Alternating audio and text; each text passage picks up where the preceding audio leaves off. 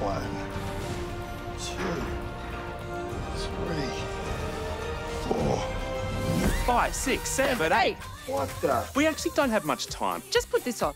What have you done? He's won an AFL Premiership and a Brownlow. But can footy legend Ben Cousins win the greatest prize of them all? Uh, uh. Ben Cousins is on Dancing with the Stars, soon on 7 and 7 Plus.